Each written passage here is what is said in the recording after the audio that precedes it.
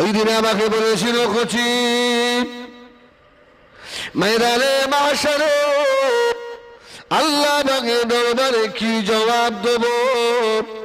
মানুষ যে এত ভালোবাসে, আল্লাহ যদি আমি কালিমুল্লাহকে জিজ্ঞাসা করো জবাব দেওয়ার ক্ষমতা নাই, আল্লাহ,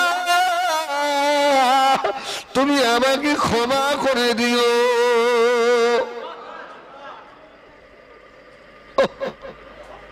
হুজুরের সঙ্গে জলসায় আছি।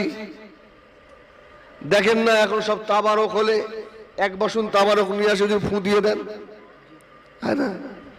আমাকে হুজুর শিখিয়ে দিয়ে কচি, ফু দেবে না। তাবারকে ফু দেবে না। হুজুর কেন? আল্লাহর ওলি আল্লাহকে এত ভয় করতেন আমাকে বলেছিলেন হিজবুল্লাহ সরে রেখে দাও সুরা ফাতে শরীফ, সুরা ইখলাস শরীফ পড়ে ফু দেবে। আল্লাহ বাজের কোরআনের এক একটা হরফে ফয়েজ আছে বাবা। ওই ফয়েজটা ভাতের ভিতরে চলে যাবে। ওই ভাতটা ওরা তাবারকে হাড়িতে হাড়িতে দেবে। কোনো ভাত যদি জমিনের উপরে পড়ে যায় আর কেউ যদি ওই ভাতের উপরে পাঠায় আল্লাহ পাকের কোরআনের সঙ্গে বেয়াদুবি হয়ে যাবে। ময়দানে হাসর আল্লাহ পাকের দরবারে জবাব দিতে পারবে না। কি সূক্ষ্ম জিনিস। কি বুঝলেন?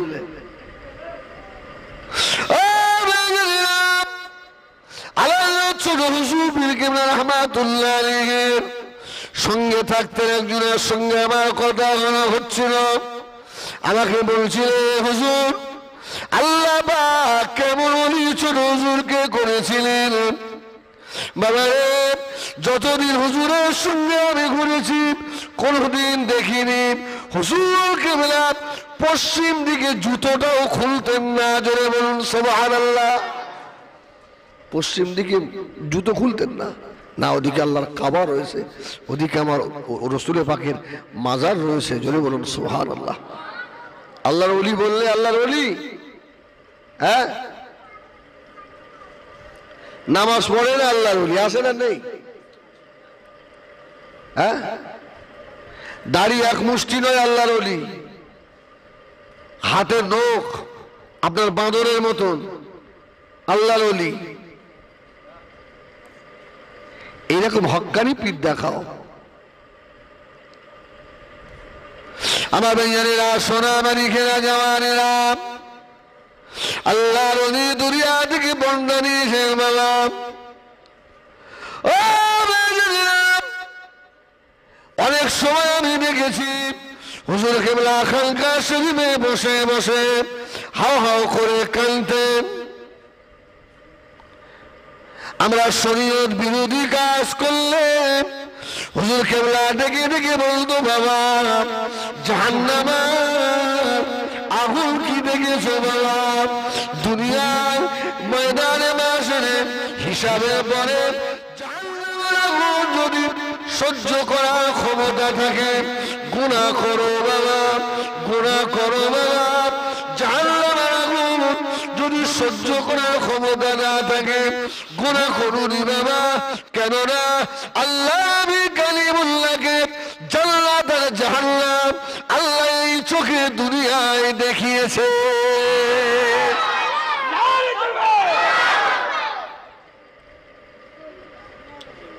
এর অনেক প্রমাণ রয়েছে।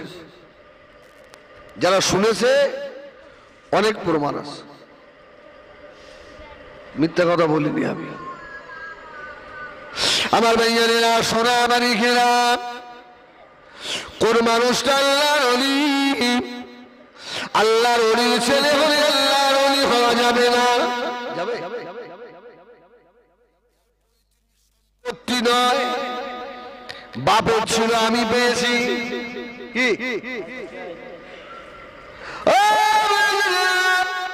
আল্লাহ পাককে যারা খুশি করেছে তারা বাবা। মুসাফির জামান দাদা রহমাতুল্লাহ আল্লাহ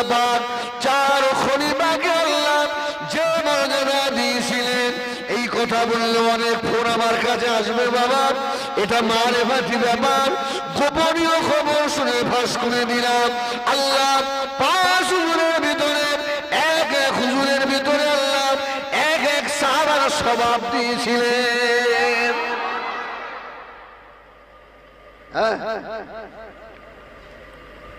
আল্লাহ রহমাতুল্লাহ আলাইহি।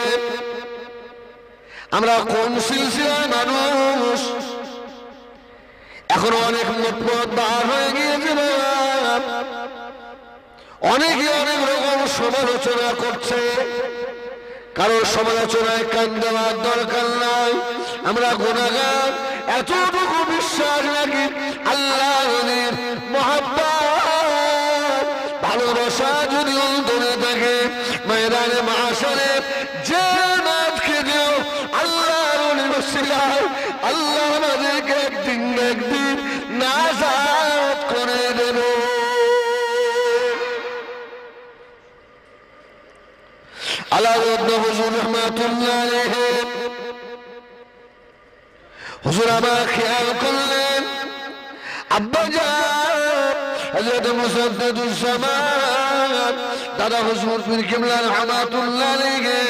ওই মাটির মসজিদে আসরের হুজুর যেন কোথায় চলে যান।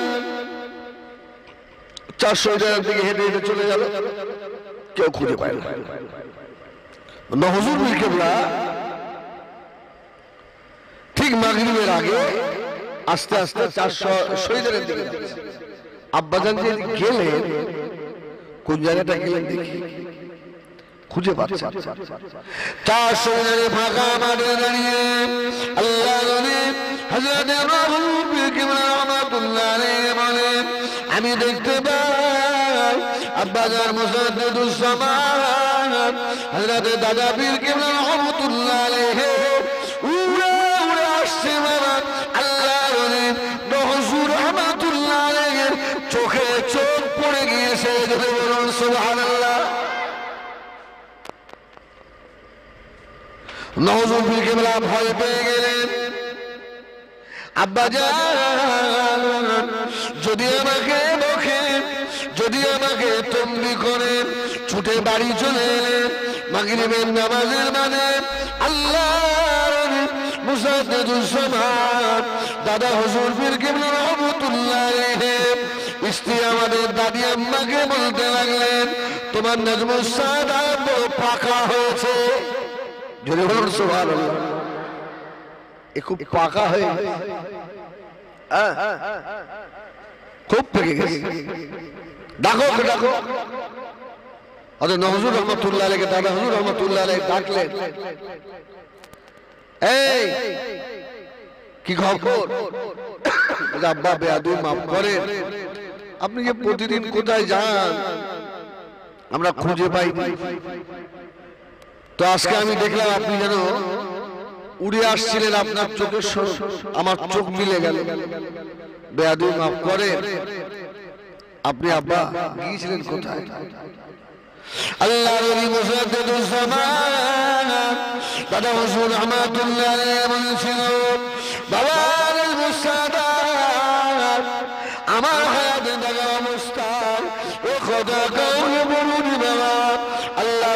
আব্বা আবু বাকারকে এত আল্লাহ হাকদার করেছে।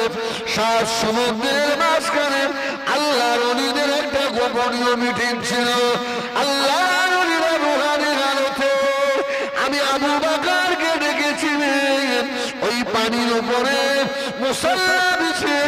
আসরের পরে মিটিং হয়েছে আমি আবু বাকার, ওই মিটিংয়ে হাজিরা দিয়েছিলাম।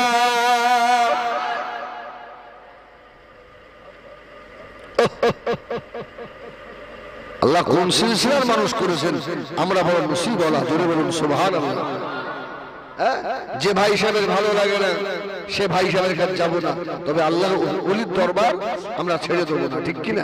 হ্যাঁ? কে কি বলল আমাদের? যায় আসে। আল্লাহ বলি হযরত নওজুর পীর আম্মা জানকে বললেন, আম্মা জান, আমার আব্বাকে আমাকে এলমে বাতিনি দেবেন না। আমাকে সবক দেবেন না। দাদা বলে দাদিমা বললেন, দাদা হুজুর রেগে গেলে ওকে পড়তে বলো। আমি যখন নদিয়া জেলায় আমার মতি করি। ওখানে বড় হুজুর পীর কেবলা রহমাতুল্লাহ আলের একটা খলিফা ছিলেন। নাম হচ্ছে মাওলানা মতলুবুর রহমান সাহেব। ইন্তেকাল করেছেন রহমতুল্লাহ আলাই। মোস্তফর আল্লাহর উলি ছিলেন। আমি বায়াত হতে গেলাম। ঠিক একই কথা। যাও। মা সাহেব পড়ছো, পড়ো। বায়াত হওয়া লাগবে না। আল্লাহ তো করে বাড়ি থেকে হ্যাঁ দেবে না? ঠিক আছে, আমার আল্লাহ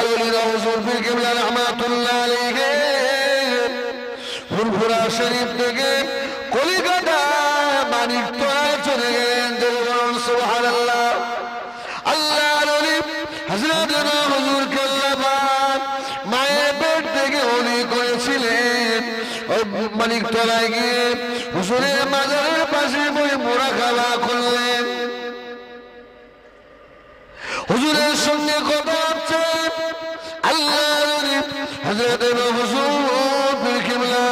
রহমাতুল্লাহ আলাইহি বলেছিলেন, দাদু আমার আব্বা আমাকে দিলেন না আমি আপনার কাছে এসেছি। আপনি আমার মনের আশা পূর্ণ করে দেন। আর আপনার রসুলের নহমান সুফি ভাই বাড়ি বলেছিল রহমাতুল্লাহ আলাইহি।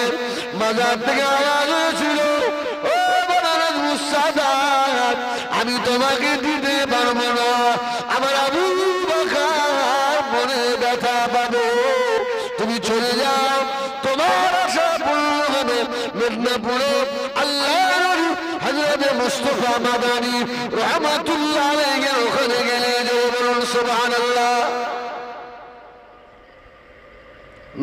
নহজুল রহমাতুল্লাহ আলাইহি। হেঁটে হেঁটে হেঁটে হেঁটে মেদিনীপুর চলে গেলেন মুস্তফা মাদানি রহমাতুল্লাহ আলহের মাজারে। সময় জঙ্গল ছিল জঙ্গলের ভিতরে বসে কয়েকদিন ধরে হ্যাঁ, মোরা খাওয়া করলেন। হ্যাঁ মুস্তফা মাদানি রহমাতুল্লাহ আলের সঙ্গে হুজুরের রুহানিতে কথা হলো জোরে বলুন সোহান আল্লাহ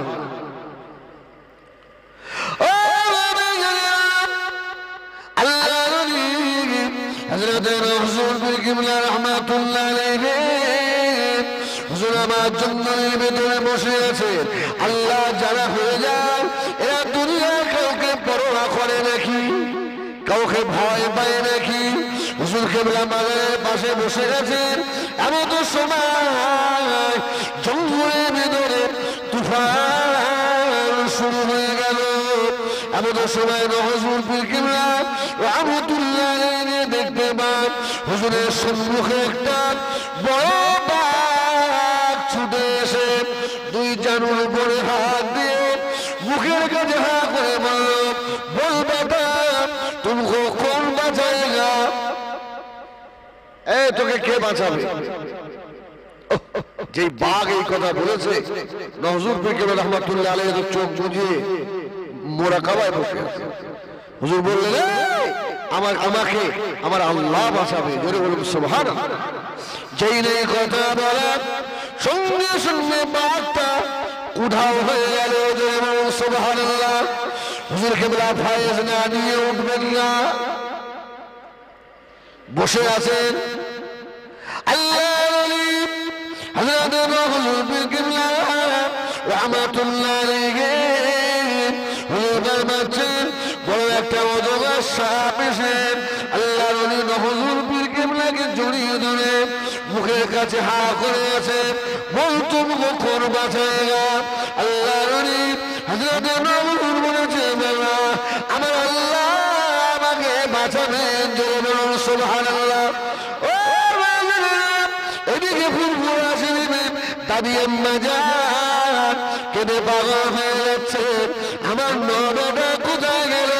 তুমি বাপ হয়ে খবর দিলে না। ও মেয়েরা আল্লাহ রনি ফুরফুরায় বসে বসে নজরুল পীর কেবলাকে দেখতে পাচ্ছেন না পাচ্ছেন না। নজরুল পীর কেবলার মনে সাহস হয়েছে এখনও আমার আব্বা, আমার পীর মুসাজ্জুদুজ্জামান, দাদা হুজুর রহমাতুল্লাহ এখনও হায়াতে রয়েছে বলুন সুবহানাল্লাহ। দাদিমা বলছে ছেলেটা কোথায় গেল? তোমার কোনো খোঁজ খবর নেই? হুজুরকে বলে হাসছে। আর হুজুর তো সব দেখছে আচ্ছা বলে আল্লাহ ইচ্ছা করলে তাম পৃথিবী দেখার ক্ষমতা রাখে না রাখে না? এ ক্ষমতা আল্লাহর অলিদের আছে। হ্যাঁ? আরে অতক্ষণ আল্লাহর অলি হয় না, যতক্ষণ এই মোমেন মানুষটার কল আল্লাহ রসুলের কলবের সঙ্গে যোগ না হয়। জোরে বলুন সুলহান আল্লাহ যখনই আল্লাহ রসুলের কলবের সঙ্গে যোগ হয়, তখন এর কলবটা আল্লাহ নূর আলা নূর করে দেন। ওই সময় চোখটা বন্ধ করলে আল্লাহ তাম বিশ্বটাকে দেখিয়ে দিয়ে থাকেন। জোরে বলুন সুলহান আহ আহ। আমাদের সময় মেদিনীপুরে হজরত মুস্তফা মাদানী রহমতুল্লাহ মাজারের ভিতর থেকে আওয়াজ হয়ে গেল "ও বাবার মুস্তফা, তুমি পাশ করেছ বাবা। হুজুর আমার ফায়েজ দিলেন আল্লাহ হজরত হুজুর পীর কেবলা রহমতুল্লাহ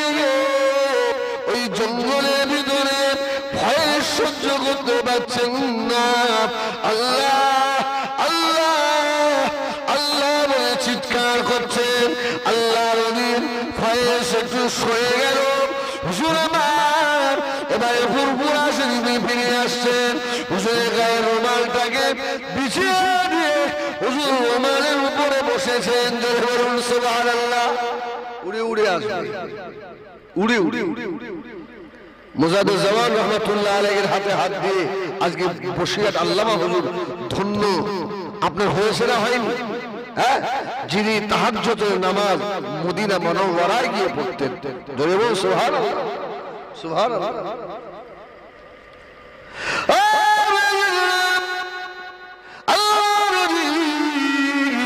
হযরত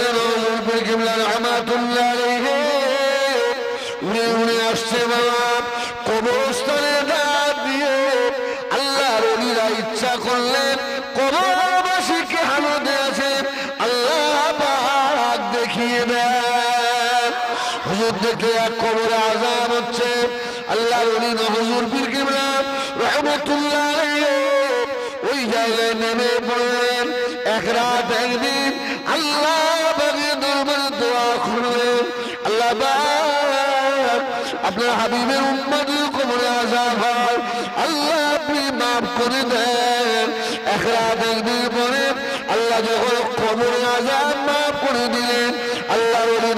ফির কিমলা আবার চাদরের উপরে বসবেন আমার আপনার নবী, দয়া নবী, আল্লাহর নবী দাঁড়িয়ে রয়েছেন। জোরে বলুন আল্লাহ আজকে যে আমাদের বানিয়ে মাহফিল হচ্ছে, আমার রসুল্লাহ ইচ্ছা করলে এই মাহফিল আসার ক্ষমতা রাখে না রাখে না। আমার নবী বাগকে অনেক মানুষ আছে জীবদ্দশায় চোখে দেখেছে। আলে হাদিসেরা, আমি নাম করি বলে ফেললাম। অনেকে আবার আপনার কমেন্ট করে। হ্যাঁ আমাদের জলসাগুলোতে কমেন্ট করে। তোরা অন্য মত পথে চলিস আর আমরা পীর। আপনি ফকিরি মত পথে চলিস জোরে বলুন সুবহান আল্লাহ আমাদের সঙ্গে মিলবে না, তোরা তো শুধু এলমে জাহিরিটা বুঝিস। আর আমরা এলমে জাহিরি বুঝি, এলমে বাতিনিও বুঝি, জোরে বলুন সুবহানাল্লাহ। আল্লাহ হুজুর পীর আলাইহিকে জিজ্ঞাসা করা হয়েছিল, হুজুর, আপনি কবার আল্লাহ রাসূলকে চামড়ার চোখে আমার নবী পাককে দেখেছেন বলে? কবার? হুজুর কেবলা তো বলবে না। যারা মুরিদ জোর করে দেন হুজুর কবার দেখেছেন বলেন হুজুর কেবলা বলবে না জোর করে হুজুর বলল, বাবা, আল্লাহ পাক আবু জাফরের এই চামড়ার চোখে আমার রসুলের পাককে ছবার দেখিয়েছে। জোরে বলুন সোভান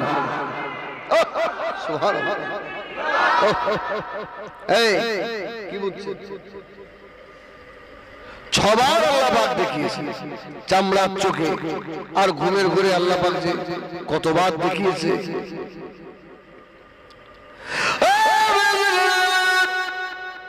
খাটি সিলসিলা যদি হয়ে থাকো শুনে রাখো দাদা, আল্লাহর অলিদের সঙ্গে মহাব্বাত রাখো। একদিন সোনার মানুষ হয়ে যাবে। যে কথা একটু আগে বলছিলাম নদিয়া জেলা হাসখালি দাঁড়ায় বাড়ি মাওলানা মতলুবুর রহমান সাহেব বহুসুর কিবলা খলিফা। একদম হালকা মানুষ ছিলেন, দিক দিকে হালকা মানুষ। আমি নদিয়া জেলায় বাগমারা বলে একটা মাদ্রাসা ওখানে পড়তাম। এখন তো আর মানে মিথ্যে কথা বল- বললে সব ধরা পড়ে যাবে, এসব যন্ত্র দেখতে পাচ্ছেন? ঠিক কিনা ভুল বলে এ তো তামাম পৃথিবী দেখছে আমাকে। আমি অস করছি। তো মাদ্রাসার মিটিং হবে মিটিং। আমরা দোতলায় রয়েছি আর পীর সাহেব আসছে কেমন করে জানেন? আমি জানি পীর সাহেব আসবে গাড়ি করে। একটা থলের ব্যাগ হাতে নিয়ে মাথা হাত করে আর জামা গুটিয়ে গুটিয়ে এত তো তখন তো এঞ্চ বয়স। আমি আমার সাথী ভাইদেরকে বলে উনি আবার আমাদের পীর সাহেবরা কত সুন্দর গাড়ি করে আসে। এখন পীর সাহেব এসছে। সব ছাত্ররা এসে মুসাফা করছে আমি যে হাত ধরেছি আমার হাত ধরে বলছে বাবা কাউকে বাহ্যিক দিক দিকে দিক দেখে মন্তব্য করবে না বাবা। এই আমার এই আওয়াজ তারাও শুনছে। কারণ বাহ্যিক দিক দিয়ে দেখে যেন মন্তব্য করুন। হুজুর, এখন বেয়াদবি হয়ে গেছে। মাফ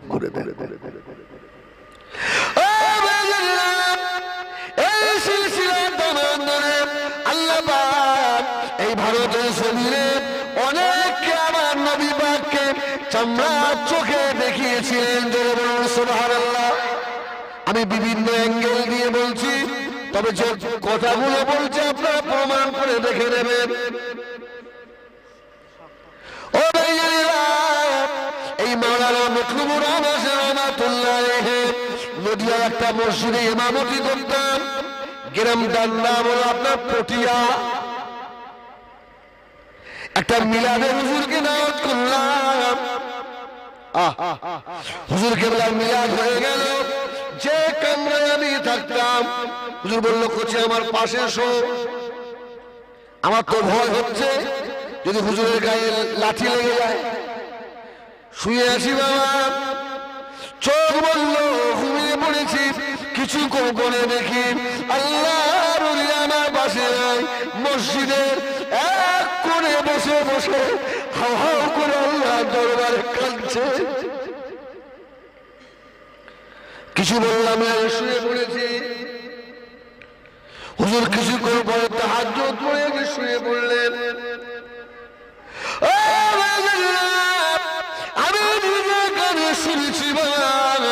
হুজুর কেবলা যেন কার সঙ্গে সারা রাত গল্প করছেন শুনতে পাচ্ছি, চোখ খুলতে পারিনি বাবা। আল্লাহ সকলের চোখ তো খোলাবে না। সকাল হয়ে গেল, ফজরের নামাজের পরে চা খাওয়াচ্ছি। আমি হুজুরকে জিজ্ঞাসা করলাম হুজুর, সারা রাত আপনি কার সঙ্গে গল্প করছিলেন? আল্লাহ মতলুবুর রহমান সাহেব রহমাতুল্লাহ হাসখালি থানার বাড়ি হুজুর আমাকে বলেছিল বাবা একবার যদি চোখ খুলতিস তোর জীবন ধন্য হয়ে যেত। কার সঙ্গে কথা বলছিলাম? এবারে বুঝে নাও জোরে বলুন সুবহানাল্লাহ। আমার আমি আমি আমি পাশে শুয়েছি। আল্লাহ এই সিলসিলার দামান ধরেছিল আল্লাহ তাদেরকে সোনার মানুষ করেছে জোরে বলুন সোহার খলিফা ছিলেন রমজান দুটো মসজিদে প্রায় বিশ মাইল দূরে হুজুরের একই সঙ্গে দাও এখানেও ইফতারের দোয়া করবে ওখানে দোয়া। লোক বলছে "এ, কি হবে? তো হুজুর কেবল এখান থেকে দোয়া করে এই মসজিদ থেকে দোয়া করে শুধু একটা রাস্তার টার্নিং ঘুরেছে। আর হুজুর। ইফতারের পরে ফোন করে দেখছ ওই গ্রামে। বলছে, হুজুর তো আমাদের এখানে ইফতার করেছে। সোহান নদিয়া জেলায়, আপনার উলাসি মাদ্রাসা। নাম শুনেছেন উলাসি হাঁসখালি উলাসি ওই এলাকায় জলসা। আর ওই এলাকার মানুষ খুব মহব্বত করতে ভালো মতলুবুর রহমান সাহেব ভোট তিনটের সময় আপনার দুটো জলসায় একই সময় হুজুর শেষ দোয়া করবে। হ্যাঁ? ওই জলসা থেকে মানুষ ফিরে আসছে এই দোয়া কে করেছে বলে কেন হুজুর করেছে এরা বলছে হুজুর তো এই সময় আমাদের এখানেও দোয়া বলুন সুবহানাল্লাহ, সুবহানাল্লাহ। এই সিলসিলার সঙ্গে মহব্বত ছিল আল্লাহ ওলিদের সঙ্গে মহব্বত ছিল বলে আল্লাহ এদের সোনার মানুষ করেছিলেন জোরে বলুন সুবহানাল্লাহ।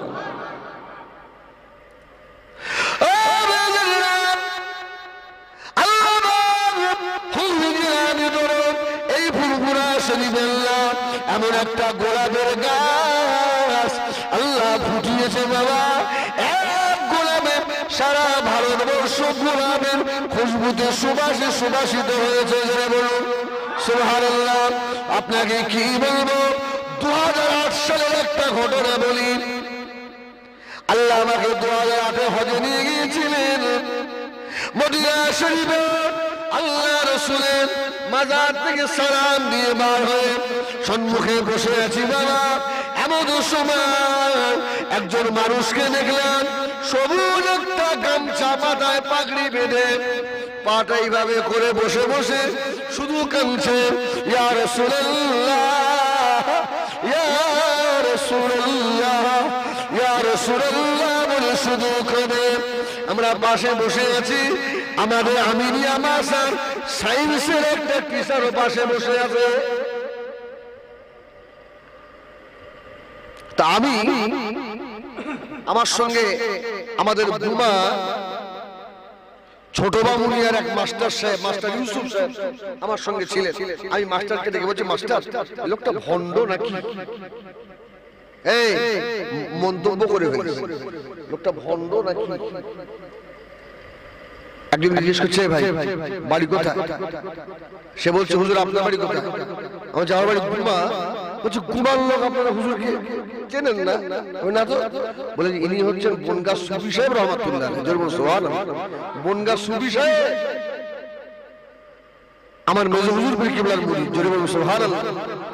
এই কেমন সোনার মানুষ দেখে আল্লাহু তো যেই বলে যে সুবি সাহেব তো আমি আস্তে আস্তে উঠে গিয়ে আবার হাত আসসালামু আলাইকুম।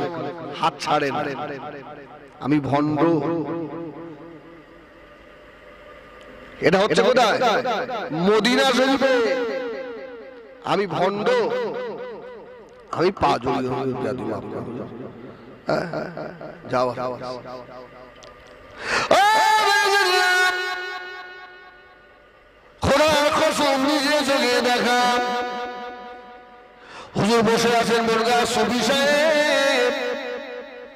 যারা মদিনা মসজিদে নবী শরীফ ঝাড়ু দেয় সুইপার হাতে একটা জরি ব্যাগ আছে আর এক হাতে ঝাড়ু আছে মদিনার মসজিদে নবাবির দিকে। জান্নাতুল বাকির দিক থেকে নবাবির দিকে আসছে বাবা। সুবি সাহেব আস্তে আস্তে উঠে গিয়ে ওই মদিনার মসজিদে নবাবির সুইপারটাকে জড়িয়ে ধরেছে। সুইপারটাকে জড়িয়ে ধরে হাও হাও করে কাঞ্চায় বলছে, বাবা, তুই কত ভাগ্যবান, তোর নসিব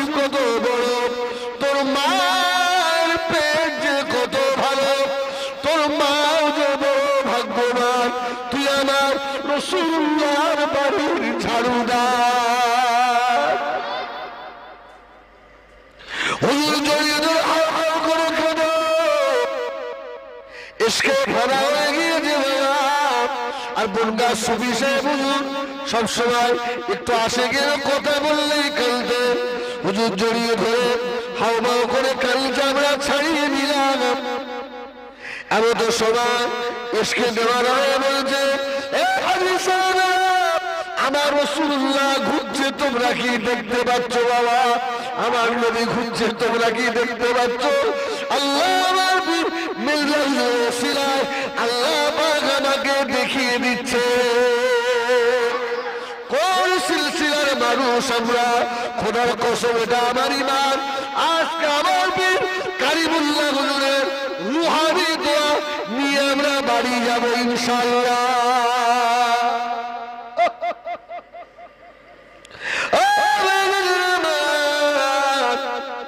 মসজিদে বসে বাস করছি বাবা। বনগা সুবি সাহেবের মুড়িদেরা শুনছে না শুনছে না। লাইভ সারা পৃথিবীতে হচ্ছে। আমার সঙ্গে যারা হজে ছিল, তারাও শুনছে বাবা।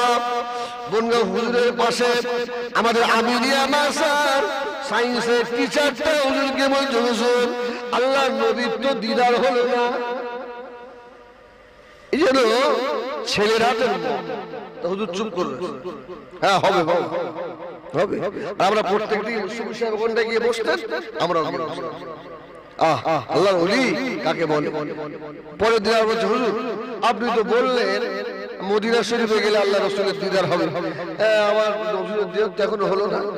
কেবলা কিছু করে চুপ বলছে, বাবা, আগামী সোমবার হবে। জোরে বলুন সোহান আল্লাহ সোহান একটু জোরে বলেন না সোহান আল্লাহ এখন যদি সোমবারে রসুল্লাহ দিদার ওই মানুষটা না হয়, ও কি আমাকে আর পীর বলে মানবে?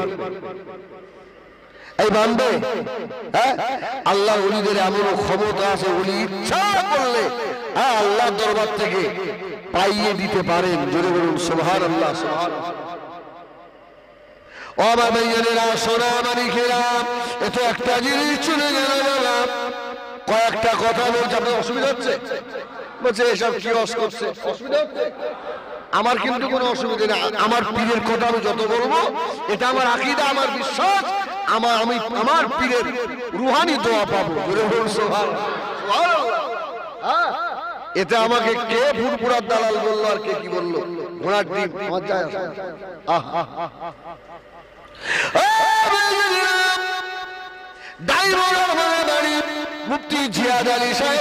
শুনেছেন আপনারা? আর হ্যাঁ।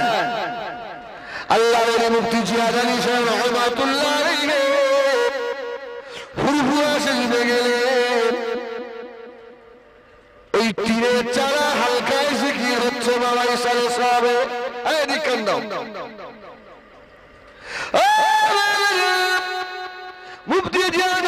রহমাতুল্লাহ ওই পুকুরের টানে চুপ করে দাঁড়িয়ে রয়েছে। বড় হুজুর পীর কেবলা রহমাতুল্লাহ আলাইহি হালকায় জিকির করাবে বলে স্টেজে উঠেছে হুজুর জিকির করিয়া করানোর সময় বললেন বাবা চোখ বন্ধ করে না কেউ চোখ খুলবে না বাবা। সব চোখ বন্ধ করে বসে আছে। মুক্তি জিয়াদ রহমাতুল্লাহ চোখ বন্ধ করে না। কিছুক্ষণ হযরত বড় হুজুর পীর কিবলা রহমাতুল্লাহ আলাইহি নেমে এলেন। কে ওই জায়গায় হালকা সিকিরের মাহফিল চালাচ্ছে। মাহফিলের ভিতরে জজবায় হাল শুরু হয়ে গিয়েছে। মানুষ আল্লাহ আল্লাহ করে চিৎকার করছে বাবা। ঠিক যেখানে মাহফিল শেষ হওয়ার আগে ওই মানুষটা নেমে চলে গেল। কাইয়ুমুজ্জামান জিয়াদ আলী সাহেবের মাথা ঘুরে গেল। হুজুর কেবলা থেকে শুরু করলেন মাঝখানে এই মানুষটা কে এসেছিল। জোরে বলুন সোহান এই, আপনার, আমরা কোন পীরের মুরিদ? কোন সিলসিলার বায়াত আমরা? যে সিলসিলাটা আল্লাহ দরবারে কবুল হয়ে গেছে। জোরে বলুন, সুবহানাল্লাহ। হ্যাঁ। আল্লাহু আকবার। মুফতি জিয়াদ আলী সাহেব আস্তে আস্তে গিয়ে কাজী মুসলমান বড় হুজুর নামবেন? সিঁড়ির কাছে। হুজুর মাফ করে আপনি তো জেকের শুরু করে দিয়ে নেমে গেলেন। এতক্ষণ কে আরে বাবা, না না হুজুর বলেন কে পা জড়িয়ে ধরেছে আলেম মানুষ তো। আল্লাহ বড় আলেম করেছিলেন ধরে সুবহানাল্লাহ। মুফতি জিয়াদ আলী সাহেব রহমাতুল্লাহ না হুজুর কে বলে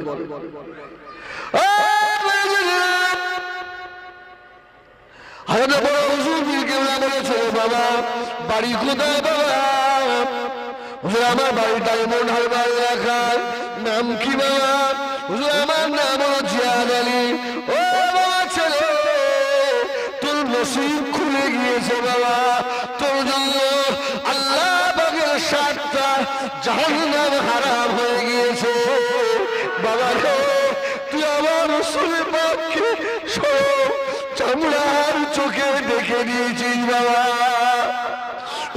আলী সাহেব বাড়ি যাবে না। হুজুর বিকেলে হাত ধরে মেজো হুজুরের কাছে নিয়ে গেলেন। মেজো ভাই, এই ছেলেটাকে আপনাকে দিলাম। মানে মুফতি জিয়াদ আলী সাহেব ছিলেন আল্লাহ ওলি। হযরত মেজো হুজুর রহমাতুল্লাহ আলাইহির পুষ্যপুত্র।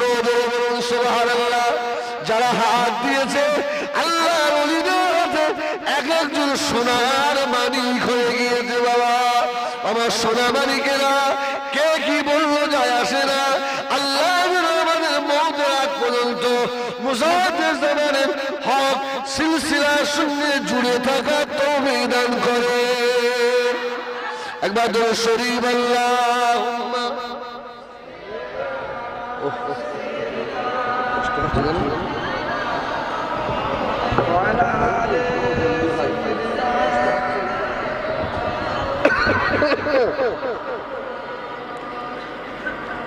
দিদারে নবী কি হসরত মে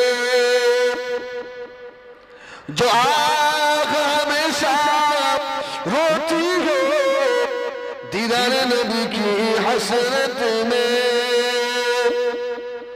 उस आग आँसू की कदर कुदरत की नज़र में मोती है। दुनिया की नज़र में पानी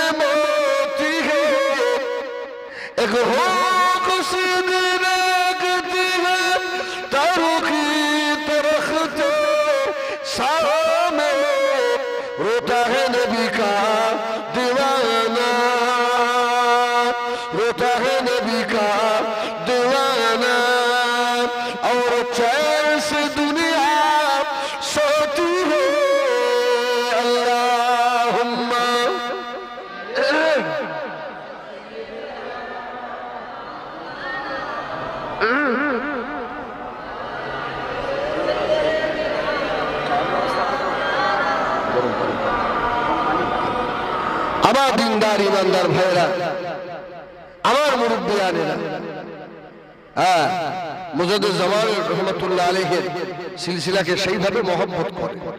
হ্যাঁ? অনেকে অনেক মন্তব্য করে, এরা আল্লাহর হলিদের বরদোয়ায় পড়ে যাবে। বরদোয়ায় পড়ে যাবে। আল্লাহর যারা বেয়াদবি করে আল্লাহ দুনিয়াতে এনে তিনটি সাজা দেবে। এক নাম্বার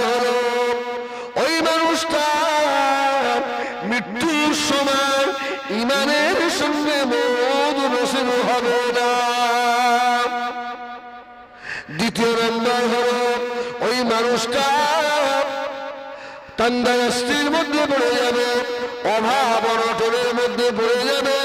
তৃতীয় নম্বর হলো বাবা, মানুষের কাছে লাঞ্ছিত, অপমানিত হবে।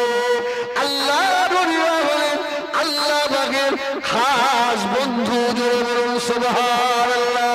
আল্লাহ বলেন, আমার রসুল্লাহ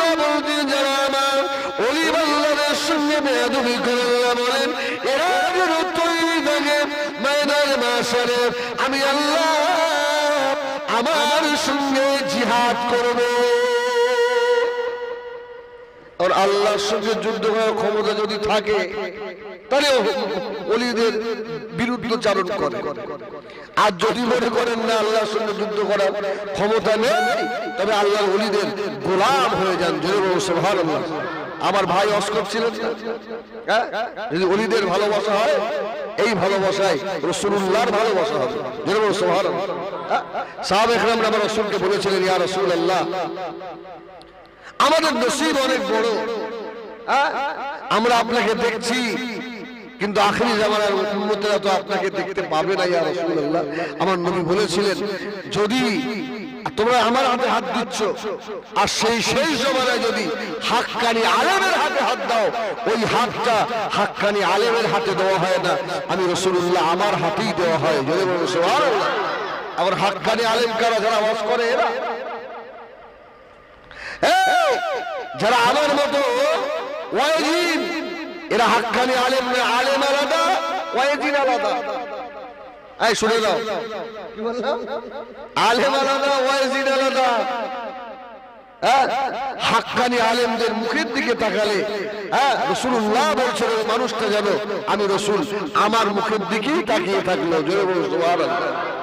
সুবহানাল্লাহ সাহাবারা বললেন ইয়া রাসূলুল্লাহ আমাদের নসিব আমরা যে আপনার পিছনে ইক্তেদা করি, আল্লাহ রাসূল বলেছিলেন, হাক্কানি আলেমের পিছনে ইক্তেদা করা, সেটা যেন আমি রাসূলুল্লাহ আমার পিছনেই ইক্তেদা করা। ধরে বলবেন না সুবহানাল্লাহ হাক্কানি আলেম ছিলেন কারা? মুজাদ্দিদ জামান দাদা হুজুর। পাঁচ হুজুর কেবলা রহমাতুল্লাহ হাক্কানি আলেম ছিলেন আল্লাহ হাফিজ সাইফুদ্দিন হুজুর রহমাতুল্লাহ আল্লামা নুরুদ্দিন হুজুর রহমাতুল্লাহ আলাইহি। আল্লামা আমার পীর, আল্লামা কালিমুল্লাহ হুজুর রহমাতুল্লাহ আলাইহি। জোরে সুবহানাল্লাহ হ্যাঁ? আমরা হাক্কানি আলেম। সারা দুনিয়া সুদ, ঘুষ, কিচ্ছু বাঁচিনি, সবার বাড়ি খাই। না খাই না! আল্লাহর অলিদের চোখে হওয়া যাবে না। আল্লাহর অলিদের গোপনীয় ব্যাপার জানিয়ে দিয়ে থাকে শুনে রাখো বাবা, হুজুরকে মাইলতে গেলে কিছুদিন আগে নিজের বাড়ি দোকানে গেটটা ভেঙে বড় করেছে। রাত বারোটা পর্যন্ত মিস্ত্রি কাজ? বলছে, বাবা, এখান দিয়ে খাটিয়ে ঢুকবে না, খাটিয়া ঢুকবে না। লাশ বার হবে না। আল্লাহর অলিদেরকে আল্লাহ পাক কিছু কিছু গোপনীয় ব্যাপার জানিয়ে দেন। জোরে বলুন সোহান আমার সোনামানিকেরা, জওয়ানেরা, যদি আল্লাহর অলিদের সঙ্গে মহব্বত রাখো ভালোবাসা রাখো যদি বাবা, এটা আমার বিশ্বাস। যদি সঠিক নামাজ আদায় করো হারা হারা যদি বেঁচে খাও, মতের আগে আল্লাহ আমার নবীর দিদার করিও। ইমানের সঙ্গে মত দেবেন যারা বলুন সব ও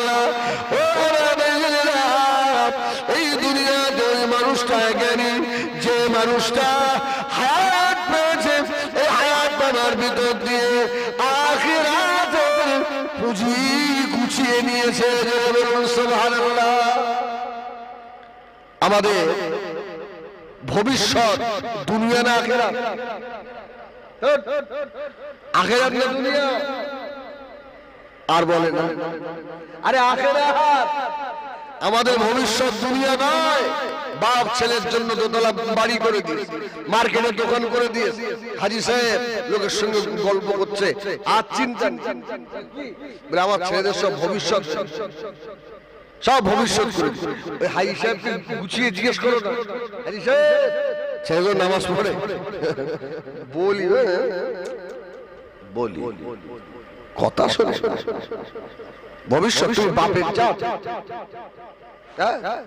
এই, ছেলেগুলো ভবিষ্যৎ করে দিলে দোকান পাশেরই ব্যবসা, ঘর বাড়ি খুব করে দিয়ে ছেলেগুলো আল্লাহর কোরআন পাওয়া জানে আস্তে আস্তে হবে আস্তে আস্তে হবে। এই ঠিক ঠিক কিনা ভুল বলে।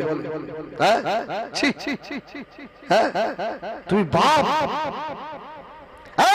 বাপ আমাদের। বাপ আমাদের। হ্যাঁ? বাপের হ্যাঁ? আমাদের বাবা আমাদেরকে ভবিষ্যৎ দিয়েছে। জোরে বলুন সোহান সোহান হ্যাঁ আমাদেরকে মাদ্রাসায় পড়িয়েছে। কিচ্ছু না শিখি অন্তত পাঁচ অক্ট নামাজের আর কারা হাকামটা তো শিখতে পেরেছি আল্লাহর কোরআনটা তো ভালো করে পড়তে শিখেছি। তা সবার বাপ সব ছেলেকে আলেম করতে হবে।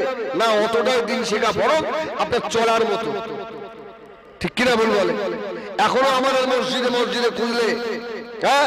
পীরের ভক্ত, আলহামদুলিল্লাহ, আমিও পীর ভক্ত মানুষ। তবে পীরের ভক্ত হওয়ার সঙ্গে সঙ্গে আপনার নামাজটাকে সহি করতে হবে না হবে না? এই নামাজ সহি করতে? হ্যাঁ? আপনি নামাজ জানেন না। বুড়ো হয়ে গেলেন এখনও। গোসল জানেন না ওষু জানেন না। নামাজের পার্টিতে কীভাবে দাঁড়াতে হয়, এ জ্ঞান আপনার নেই। তো আপনার একটু চিন্তা হয় না যে আল্লাহ, কাল কেয়ামতের ময়দানে হাসরে আল্লাহ, আমি তোমার দরবারে জবাব করে দেবো কি? দুনিয়ায় সব শিখেছে, নামাজ শিখিনি, দুনিয়ায় সব শিখেছে, আল্লাহর কোরআন শিখিনি, এই মানুষটার আল্লাহ পাকের দরবারে পাঁচ পয়সারও মূল্য। এ পচা এর দাম নেই। এই জন্য দুনিয়ায় বাপ হয়েছে। নিজে শেখে সন্তানকে ভালো ইমাম পেয়েছেন, আলহামদুলিল্লাহ আপনারা। হ্যাঁ আপনাদের মুয়াজ্জিন সাহেব খুব ভালো। ছেলে মেয়ে, ছেলেদের পাঠান। এখন তো ও দেখছি যারা যুবক ছেলেরা আরবি পড়তে আসে না। আসে গেলে এই আপনার যুবক ছেলে পড়ে নাকি? ছেলেরা পড়ে না, কিন্তু মেয়েরা পড়তে আসে। এ, বাচ্চা। আল্লাহ একবার বাপ, আমার আপনার অবস্থা কি হবে? সেই পরিবেশ আমাদের ভিতরে নেই। আল্লাহ পাকের দুনিয়ার ভিতরে একটা বাদশাহ তৈরি করেছিলেন। ওই বাদশার নাম হলো বাদশাহ হারুনার রশিদ। আল্লাহ পাকের মানুষ ছিলেন ও আমার এই বাদশাহ হারুনা রশিদ রহমতুল্লাহ রাজ সিংহাসনে বসা বাদশাহ হারুনা রশিদ, আল্লাহ ছেড়ে দিয়েছিলেন ওই ছেলেটার বয়স মাত্র ষোলো বছর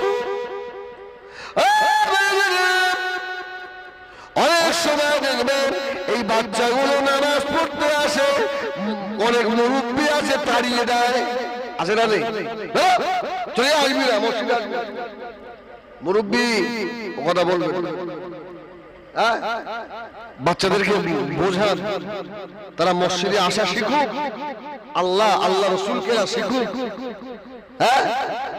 বাচ্চা হারুনা রশিদ, বড় বাদশা সিংহাসনে বসে আছে। আর বাদশা হারুনা রশিদের একটা ছেলে, বয়স কত? ষোলো বছর। এই ছেলেটা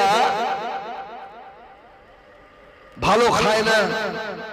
মাথায় ভালো তেল দেয় না, পাগলের মতো ঘুরে বাদশাহ হারুনা রশিদের বাড়িতে একটা সেমিনার হচ্ছে মিটিং হচ্ছে। অন্যান্য রাজ্য সম্মন্ত্রী মহোদয়রা এসছে। বাদশাহ হারুনা রশিদ বসে আছেন। আর এই ছেলেটা ওই মিটিংয়ের সম্মুখ দিয়ে যাচ্ছে। অন্যান্য মন্ত্রীরা জিজ্ঞেস করছে হুজুর এই- ছেলেটা কা বলছে কেন আমার ছেলে? এইরকম ছেলেকে আপনি এখনও বাড়িতে স্থান দিয়েছেন। দাঁড়িয়ে দেন। বাদশাহ ছেলে হ্যাঁ? তার ড্রেস তার ভাব আলাদাই হবে। কিন্তু এ তো পাগল।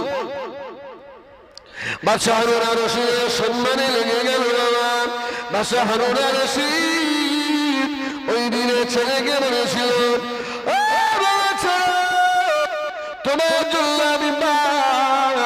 আমার সম্মানের ক্ষতি হচ্ছে বাবা আমার বাড়ি থেকে বাবা চলে যাও। ছেলেটা বলল, আব্বা, আমি চলে যাব। এই বাড়ি আমি থাকব না। তবে আপনি আগে আমাকে বলুন যে সিংহাসনে, আপনি বসে রয়েছেন। এই সিংহাসনে আপনার আগে কে ছিল? হচ্ছে আর একজন বাদশা ছিল। সে কোথায়? সে দুনিয়ায় নেই, কবরে। বাচ্চা ছেলে বাপকে শিক্ষা দিচ্ছে বাপ শুনে রাখেন আমার শরীরের এই রকম অবস্থা হওয়ার কারণ হলো, আজ কবরের কথা মনে করে আমি যখন কর্মস্থানে দাঁত দিয়ে যাই, ওই সময় আমার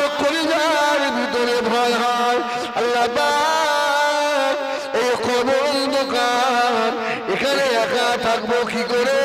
ওই কবরে ভয় করে আজকে দুনিয়া আমাকে ভালো লাগে না দেশ ভালো লাগে না খাওয়া দাওয়া ভালো লাগে না, শুধু একটাই চিন্তা, আল্লাহ, ওই কবরে আমার কি হবে যদি বললেন না সুমান বাচ্চা আর ঠিক আছে। তুমি আর বাড়ি থেকে চলে যাও। ছেলেটা ওই সময় বলেছে আব্বা আমি চলে যাব। তবে আপনার কাছে আমার একটা দাবি। বাদশাহ আর রশিদ অবাক হয়ে গেলেন ছেলে আমার কাছে কি চাইবে জানি না!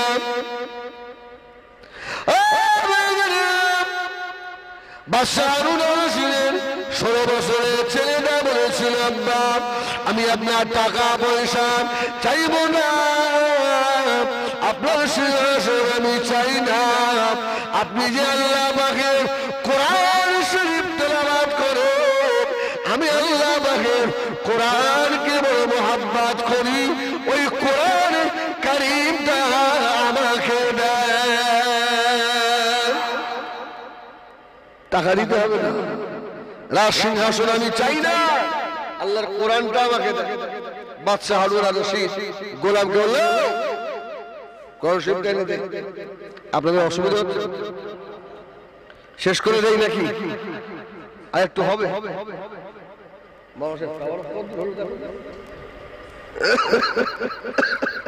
বুক ফেটে যাচ্ছে। বুঝলেন না? আপনারা বুঝতে পারছেন না। এই জন্য দেখবেন ওমর হুজুর যখন রস করে এই বক্স ঘোরা বলে না? আমার দিকে কর বক্সটা আমার দিকে কর কেন বলে? নিজের রস নিজেকে শুনতে হয়। মাইক সেট ভালো হলে দু পাঁচ ঘণ্টা ওয়াশ করা যায়। হ্যাঁ? এতে কি হচ্ছে। যেরকম বলতে চাইছি তার উল্টো হয়ে যাচ্ছে। আমার ভাইয়েরা দেখ আপনাদের অসুবিধা হচ্ছে না তো বলেন আলহামদুলিল্লাহ আমরা শুনছি আল্লাহর জন্য ঠিক কিনা আর আমিও বলছি আল্লাহর জন্য মাইক খারাপ হলেও যদি নিয়ত ভালো হয় এই মাহফিলটা আল্লাহর দরবারে আজকে কবুল হয়েও যেতে পারে যদি আল্লাহ বাচ্চা হারুন আর রশিদ এই নে তোর কোরআন যা আমার বাড়ি থেকে চলে যা ও বাবারা,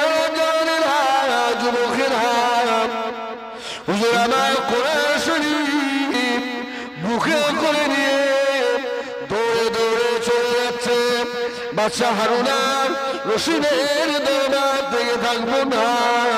ছুটে ছুটে গিয়ে বাসরা শহর একটা জঙ্গলের ভিতরে ঢুকে পড়েছে। বাসরা জঙ্গলের ভিতরে গিয়ে লতা পাতা দিয়ে ছোট্ট একটা কুড়ে ঘর বানিয়ে ওই কুড়ে ঘরের ভিতরে আল্লাহ করে নামাজ পড়ে। আর শুধু কাঁদে আল্লাহ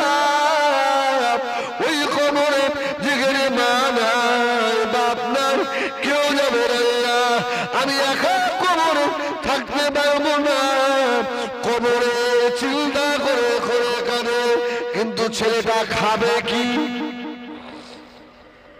এই তো খাবার ব্যবস্থা করতে সপ্তাহে একদিন শনিবার করে। ছেলেটা নিয়ত করল, আমি জঙ্গল থেকে বার হয়ে যাই। জঙ্গল থেকে বার হয়ে রাস্তার ধারে গিয়ে বসে আছে। সব রাজ মিস্ত্রি সব বসে আছে। হুজুর কে বলছে, বাবা, আমাকে একটু কাজে নেবে হ্যাঁ? এই কাজ ছেলে? বাদশাহ ছেলে। ভাই তুই মিস্ত্রি কাজ জানো? বলছে, আমি কম বেশি জানি। বা ঠিক আছে বসো। রাস্তার ধারে সব মিস্ত্রিরা বসে কেউ বিড়ি খাচ্ছে কেউ খৈনি ডলছে আর বাদশাহ হারুনা রশিদের ছেলেটা যেখানেই যায় আল্লাহর কোরআনটাকে সঙ্গে করে নিয়ে যায়। জোরে বলুন হ্যাঁ? আল্লাহ কোরআনটা সঙ্গে করে নিয়ে ফুটপথে বসে দুনিয়াবি কথা না হুজুর আমার, আল্লাহ বাগের কোরআন তেলাওয়াতে মশগুল হয়ে গিয়েছেন। সুবহানাল্লাহ। ওই বাসরা শহরে আল্লাহর একজন ওলি ছিলেন। নাম হলো হযরত আবু আমির রহমাতুল্লাহ আলাইহি। মুস্তফা আল্লাহ। হুজুরের বাড়ির একটা দেওয়াল পড়ে গেছে। দেওয়াল? মিস্ত্রির দরকার? তো আস্তে আস্তে এসে বলছে, "এই মিস্ত্রিরা, আমার বাড়িতে একটু কাজ করে দেবে। মিস্ত্রি বলছে, হুজুর, আপনি যে যেমন মানুষ, ঠিক ওই ধরনের একটা মিস্ত্রি আমাদের কাছে আছে। ওই ছেলেটার কাছে যান আল্লাহর ওলি মানুষ গিয়ে দেখছে বাদশাহ ছেলে দেখতে সুন্দর, কিন্তু ছেলেটা ফুট পথে বসে আল্লাহর কোরআন পড়ছে। জোরে বলুন সুবহান আল্লাহর ওলি হযরত আবু আমের রহমাতুল্লাহ আলাইহির কলিজা ভরে গেছে। এত সুন্দর মিস্ত্রি হ্যাঁ? এত ভালো মিস্ত্রি। হুজুর আচ্ছা বলেন, যদি কেউ কোরআন করে, আপনি গিয়ে সালাম দিতে পারবেন? সালাম দেওয়া কিন্তু দেখা যায়, আমরা যদি বাড়িতে হাবের সাহেবকে খতম পড়ার দাওয়াত করলাম, আপনি বাজার থেকে এলেন হাবের সাহেব আপনি কি কি করেন?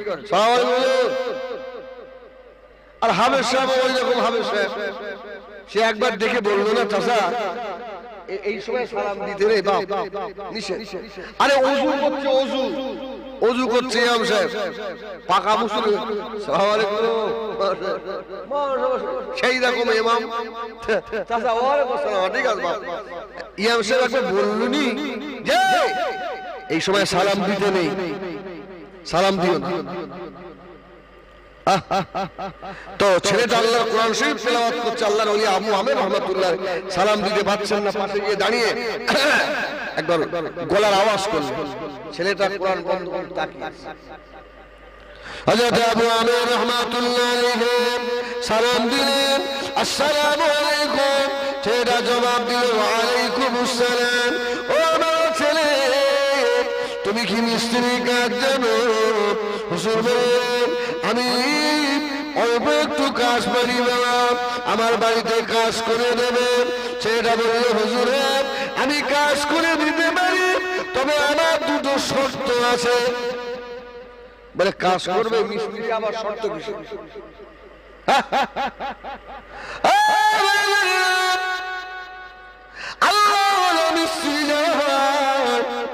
অনেক মিস্ত্রি দেখবেন, বাড়িতে কাজে এলেও নামাজ পড়ে।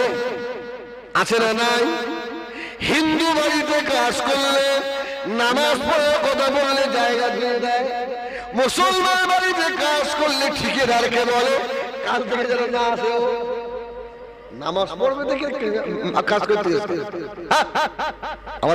কিন্তু হিন্দু বাড়ি গিয়ে বলবেন কাকা, আমার এই মিস্ত্রিটা নামাজ পড়ে, একটু জায়গা ঠিক করে দেবেন? দেখবেন সব কাজ ফেলে নামাজের জায়গা আগে করে হ্যাঁ? আর মুসলমান হলে কি বলবে? কাল থেকে এসো না। নামাজ পড়ব তো। কাজ করতে আহ, আহ, আল্লাহর অলি বলছে হুজুর আমার দুটো শর্ত। এক নম্বর শর্ত হলো মসজিদে যখন আজান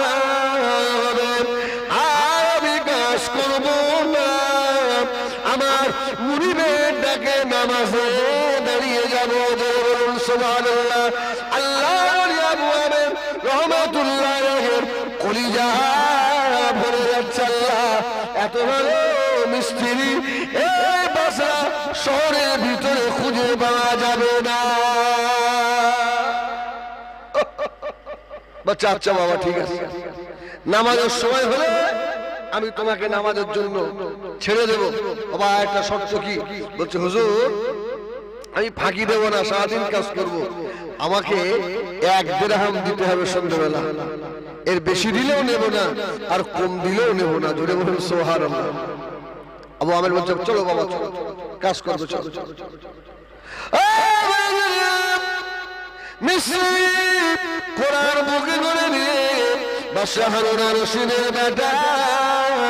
কাজে চলে আমি তো সময় নিয়ে আল্লাহ নিজের কাজে ব্যস্ত সন্ধ্যার আগে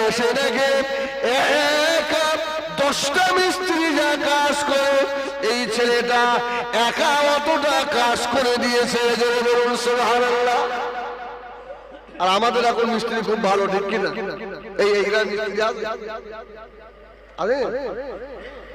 এই মিস্ত্রিদের বিরুদ্ধে বললে, আর দাওয়াত দেবে তো? এই আপনার পানি আনার মিস্ত্রি ভালো নয়।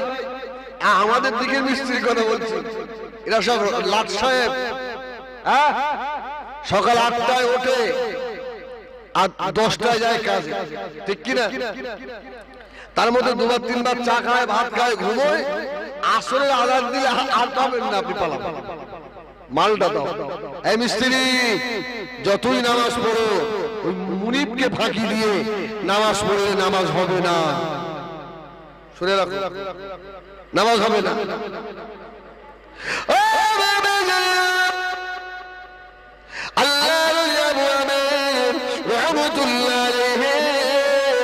সন্ধ্যার সময় এসে টাকা দিচ্ছে, কাজ দেখে খুশি হয়ে গিয়ে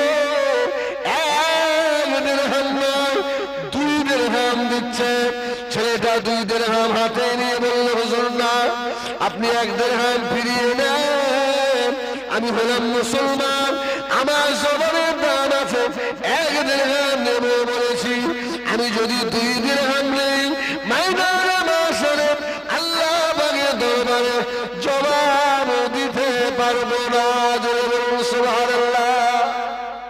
আমাকে এক দেড়হামই দেন। কি অবস্থা? সঙ্গে সঙ্গে আবু আমের বুঝতে পেরেছে, এত ভালো ছেলে হয় না।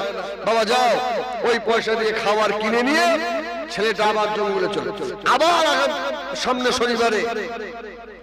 আবু আমের রহমাতুল্লাহ আলাইহির কাজ হয়ে গেছে। কিন্তু ওনার মনের মধ্যে একটা কথা হচ্ছে যে, একটা মিস্ত্রি, দশটা মিস্ত্রির কাজ একা করল কেমন করে? আর এত আল্লাহ ছেলে এটা তো আমাকে দেখতে হবে। পরের সপ্তাহে আবার গিয়ে বলছে বাবা তোমাদের সেই যুবক মিস্ত্রিটা এসছে। বলছে হুজুর সেই আবার গিয়ে সালাম খবর কি? বলছে হুজুর ভালো আছে। বাবা আজকে একটু কাজ করে দেবে বাবা। বলছে হুজুর ওই দুটো শর্ত। আজান হলে আমাকে ছাড়তে হবে আমি নামাজ পড়ব। আর দ্বিতীয় নম্বর হলো আজকে এক দেড় হাম দিলে নেব না আজকে আমার দুই দেড় হাম দিতে হবে।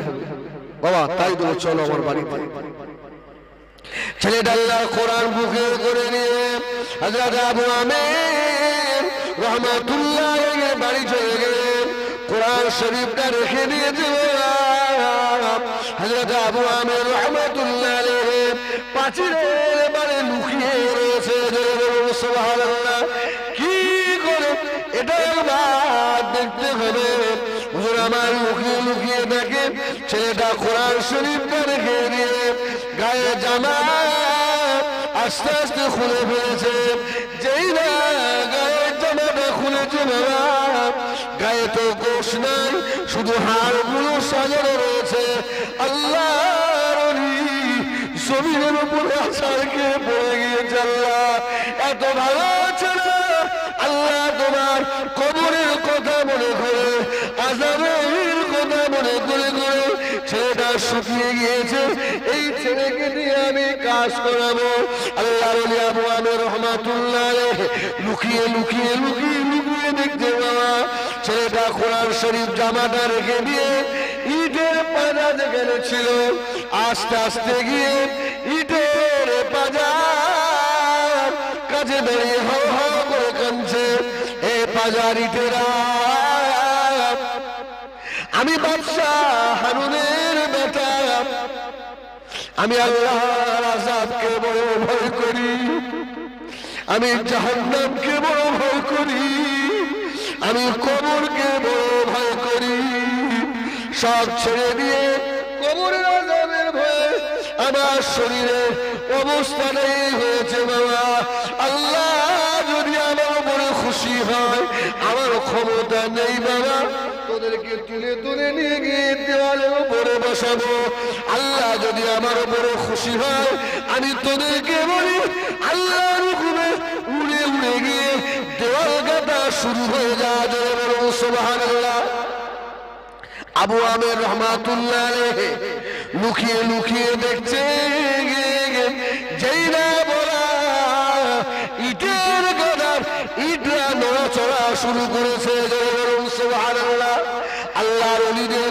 ইটে শোনে, জোরে বলবেন না, সুবহানাল্লাহ। হুজুর আমার যেই না বললেন, এইভাবে একাগ্নি হয়ে গেল। সন্ধ্যার সময় আল্লাহ ওলি তিন দিন হাত দিতে গেলেন। বাবা, তিন দেড়হাম। হুজুর, আমি বলব না, হুজুর, আমি জাহান্নামকে ভয় করি। জোরে বলুন, সুবহানাল্লাহ। হ্যাঁ আমি যে ওয়াদা করেছি, আমাকে দুই দেড়হাম দেন। কাজ করে আবু আমি বুঝতে পারলেন। আরে আমাকে লোক অলি বলেছে না?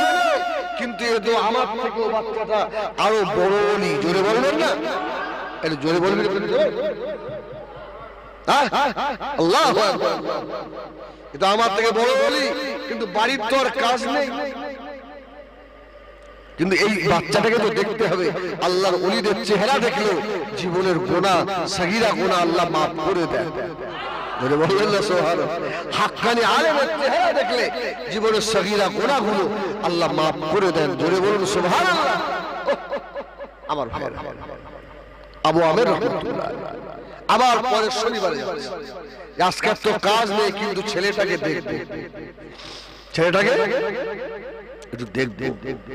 যা দেখলে জীবনের গোড়া মাফ হয়। পরে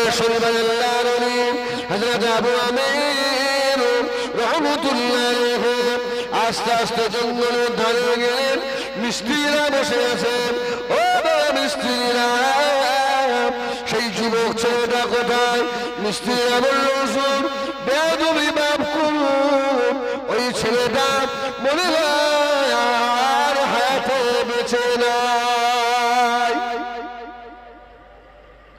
কদিন দেখছিলাম শরীর খারাপ।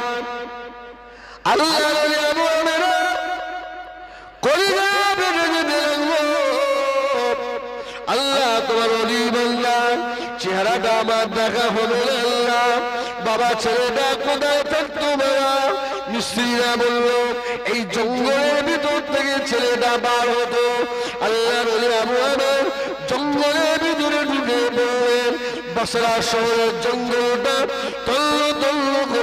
করে খুঁজছে ছেলেটাকে খুঁজে পায় না। জঙ্গলের কিনারায় গিয়ে দেখে কানে একটা আওয়াজ এলো কে জঙ্গলের ভিতর থেকে চেল্লাচ্ছে আল্লাহ কবর আল্লাহ কবর আল্লাহ, আমি কবরের সহ্য করতে পারব না।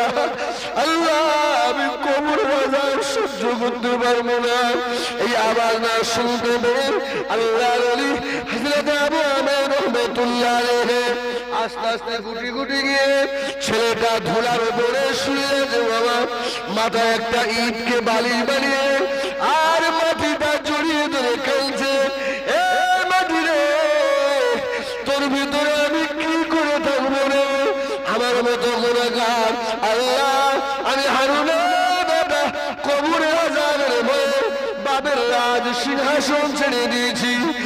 এখন জঙ্গলের ভিতরে মারা যাব কে আমাকে গোসল দেবে?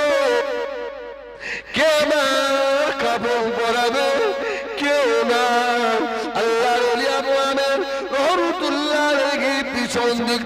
আমের? ও আল্লাহ তোমার গোসল কাপড়ের জন্য আল্লাহ আবু আমেরকে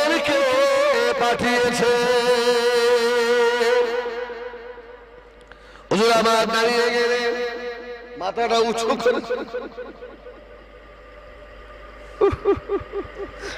কে সংবাদ আপনাকে দিল? আমার এবাদত তুই ছোপানোর মুখানো এবাদত আমি লোক দেখানো ভয় করি না। কবর আসাম ছেড়ে দেবে না।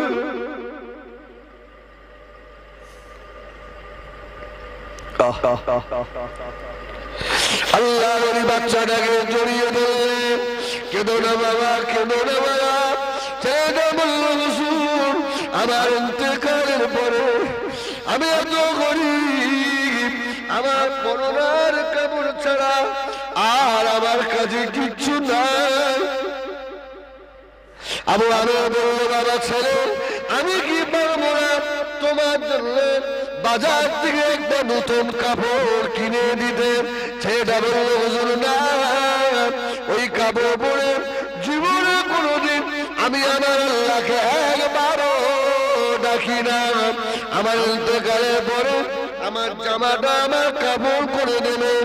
আর আমার ইন্তকালের পরে যে আমার কবরটা খুলবে, তাকে আমার পরনার লুঙ্গিটা আর পারিশ্রমিক আল্লাহর পায়ের জুতার ভিতরেও ফায়েজ আছে। যদি বলুন শোনেন, আমার ওস্তাদ আমার ওস্তাদ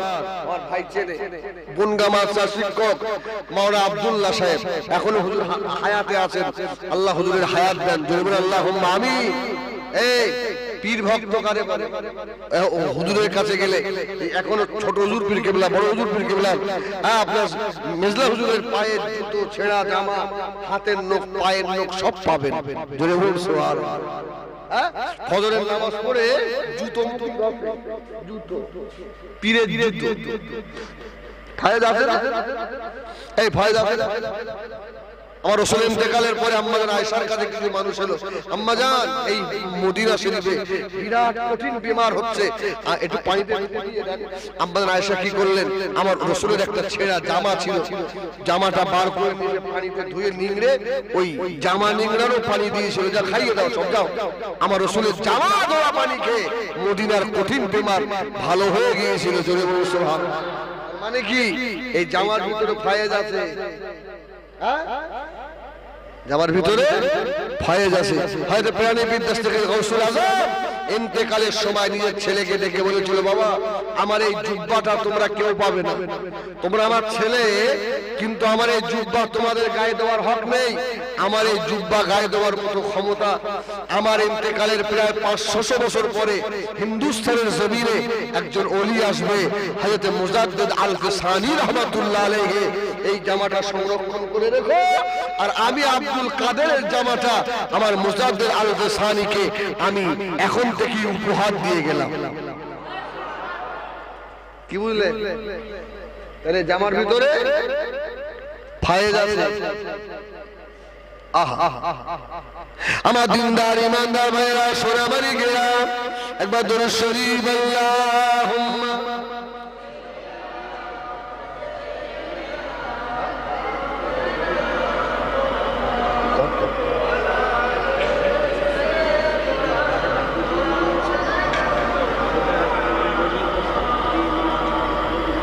আল্লাহুম্মা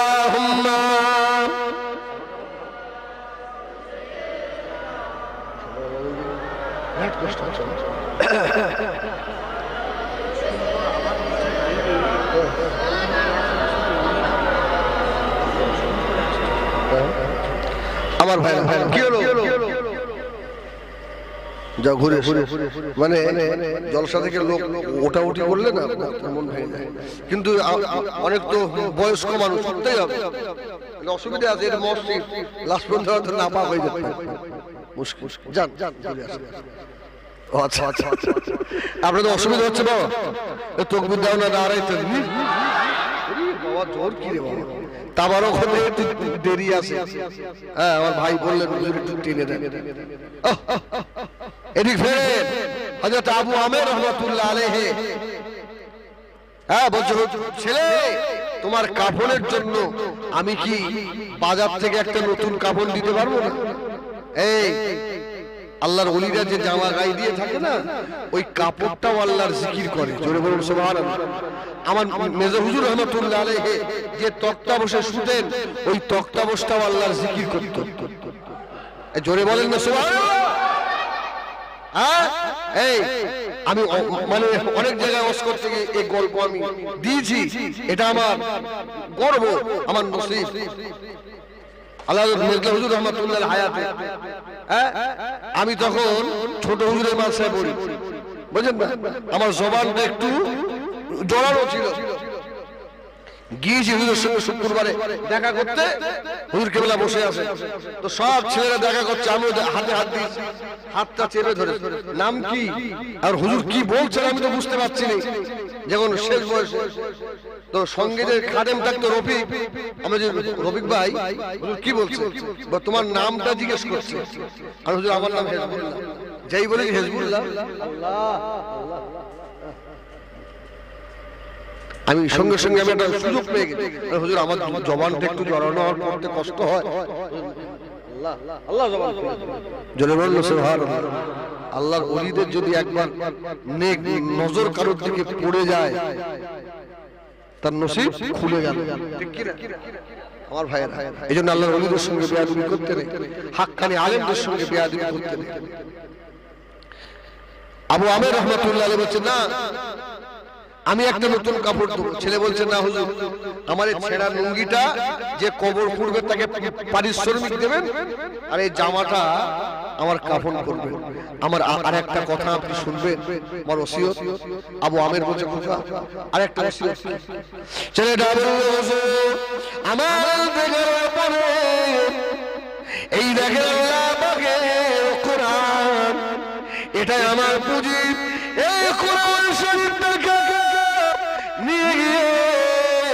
বাদশাহ হারুন আর রশিদকে ফিরিয়ে দেবেন।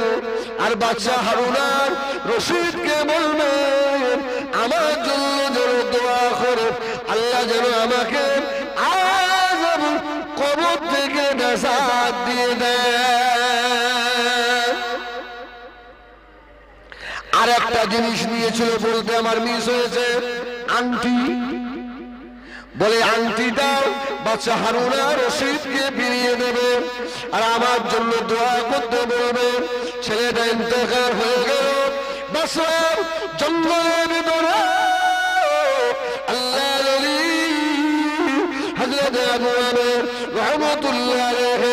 দাফর কাপড় করে দিয়ে কোরআন শরীফের আংটিটা নিয়ে বাদশাহ হারুনা রশিদের দরবারে ছুটেছে। ও আমার মেয়েরা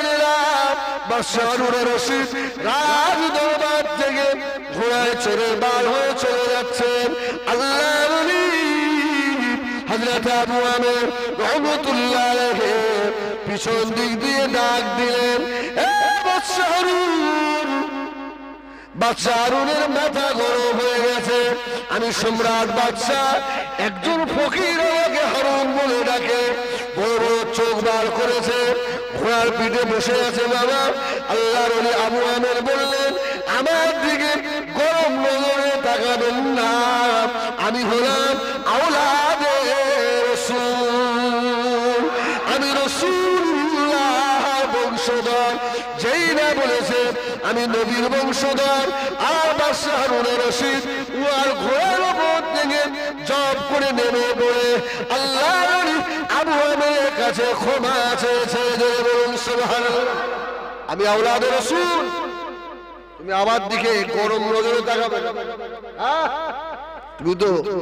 একটা বাদশাহ যারা করে, এদের খবর ভালো হয় আমার তোমাকে তো কিছু বলব, তবে এই জায়গায় বলা যাবে। তোমার রাজকক্ষে চলো, যেখানে তুমি বসো, সিংহাসনে চলো। বাচ্চা হারুন আর রশিদ ঘোড়াটা বেঁধে রেখে সিংহাসনে গিয়ে বসলেন হুজুর, এবার কি বলছেন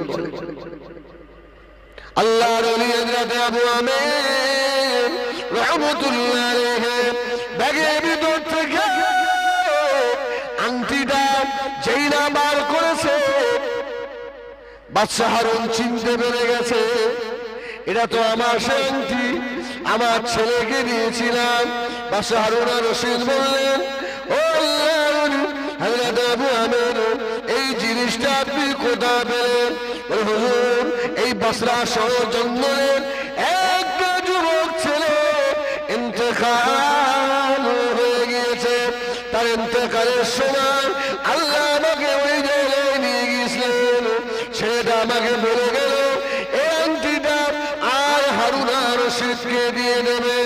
বাচ্চা হারুনা রশিদ আংটিটা হাতে করে নিয়ে হাও হাও করে কানতে লাগল বেটারে সেই যে চলে গেলি বাবা, আর দেখা হলো না বাবা। বাবা রে, আমার আমার আংটিটা আবার আমাকে ফিরিয়ে দিয়ে গেলি। আল্লাহর ওলি আবু আমের বললেন, হুজুর, শুধু তাই নয়, এই যে একটা কোরআন শরীফ দিয়ে গিয়েছে বলেন, এটা আমার তো কোরআন। আমার ছেলেকে আমি কোরআনটা বুকে করে ধরে জমিনের উপরে আসার খেয়ে পড়ে ও হজরত আবু আমের, আমাকে একবার নিয়ে চলুন। আমার বেটার কবরটা কোথায় হয়েছে? আমার বেটার সঙ্গে দেখা হলো না। জীবনের শেষ সময় আমার বেটার কবরটা কোন জায়গায় হলো? আর সঙ্গে করে নিয়ে, বাসরার জঙ্গলে নিয়ে গেল। ছেলের কবরে গিয়ে আর খেয়ে পড়ে গিয়ে কবরটাকে জড়িয়ে ও ছেলে বেটারে দুনিয়ার মান সম্মানের দিকে দেখিয়ে তোকে বাড়ি থেকে দাঁড়িয়ে দিয়েছিলাম।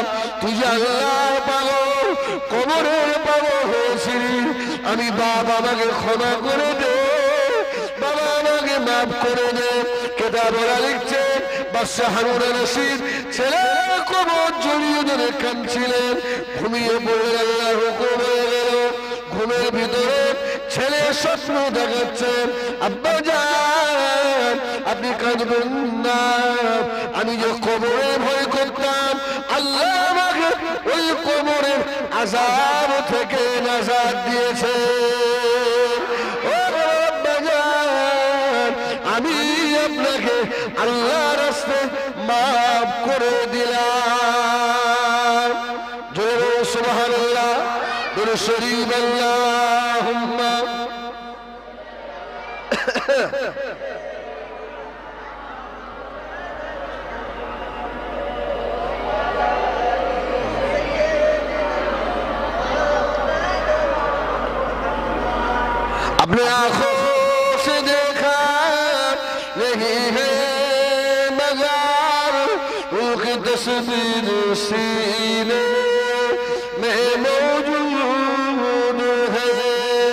जिनकी खुशबू से महका है सारा जहाँ। खुशबू नबी के पसीने में है अल्लाह।